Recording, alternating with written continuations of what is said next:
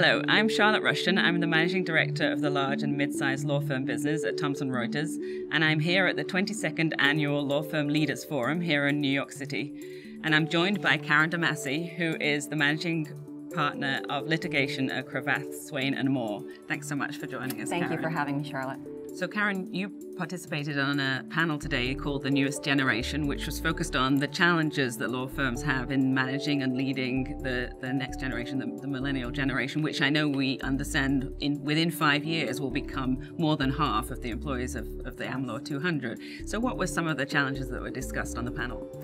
Uh, the panel was really interesting, uh, and, and one of the, the people that joined us uh, was Larry Richard of LawyerBrain, who walked us through some of the social science around some of the challenges and choices, frankly, that, that millennials bring to law firms in terms of decisions about where to start one's first job, as well as what keeps millennials at a law firm. And so it was really interesting to hear not only anecdotal information, but also the social science behind this newest generation that are now our colleagues. Right, that's interesting. And I know one of the challenges is that this generation, the millennial generation, are more prone to move jobs than the previous generation. So, how do the law firms think about the training and the promotions and um, really the return on investment for their lawyers yeah, in that sure. context? Uh, so, so we think of it not only as a challenge, but as an opportunity. This is the next generation of lawyers who will run our firms in the future, and we certainly think of them in this way. Right. And so, the way we think about uh, the millennials that, that start as our firm is what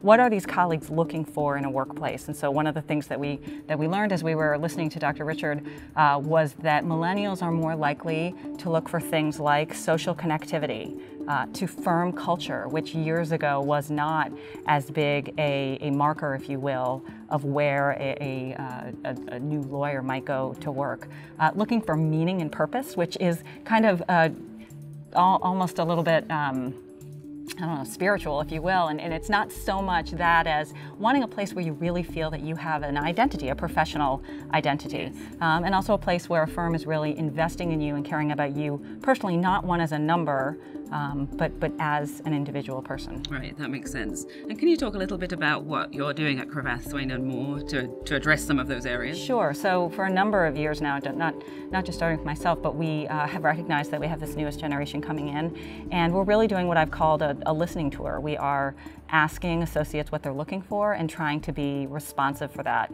um, to that. Uh, it, is, it is one of the things that uh, you know, led to, to the compensation increase that Cravath led a couple of years ago. But even aside from things that are as concrete as salary, for instance, we're hearing from associates that they want things like transparency. And so one of the things that our firm has started and that the other um, outside counsel that were on the panel also mentioned is that firms now have things like town halls. Um, there are, at some firms, uh, there are associate committees. Uh, there are ways to socially engage with associates, cocktail parties. Um, there are uh, social, you know, times. There are uh, programs that are offered uh, to encourage people to, with their time outside the office. So one of the things we do is we have a panel that uh, happens every summer where we give associates information on how you buy home, living in New York City, uh, childcare, having a family, wills and estates. And it's just a, you know, we care about more, we care about you more than just in the office. We care about you as the whole person. And so we try to listen and we try to be responsive. Great, that makes a lot of sense. So, if you were to give us sort of the one big takeaway from the panel, what would you say that would be?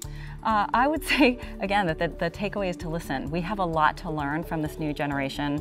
Uh, lawyers are used to being creative in our law firm practice, in our business, and we need to be creative in our management, um, in our office, with our colleagues. And I think the more open we can be, and it's one of the reasons why the panel was terrific to hear what other firms do, um, to hear what other ideas are, and if we can listen and if we can be responsive and if we can be empathetic to how this new generation perceives and experiences the workplace, uh, we and our clients will all be better off.